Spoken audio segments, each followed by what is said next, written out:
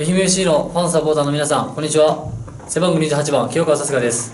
ニンジニアスタジアムで DAZN で応援してくださった皆さん応援ありがとうございました。クイズです。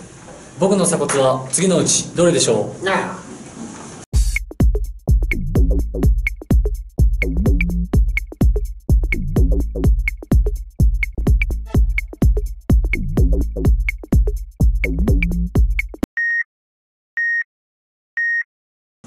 それでは正解です。正解は2番でした。めんどくさとか言われてるけど俺多分にめんどくさい